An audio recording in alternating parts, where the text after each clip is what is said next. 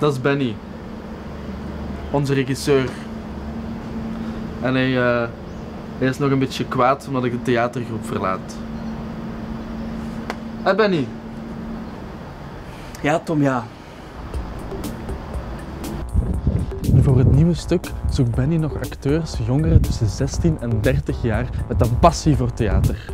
En Benny? Ze zoeken ook nog sounddesigners, kostuumontwerpers, iemand voor het licht en eh, Muzikanten, muzikanten. Ze repeteren één keer in de week in het weekend vanaf november. En waar? Hier in het oude gerechtsgebouw van Hasselt. En waarover gaat het?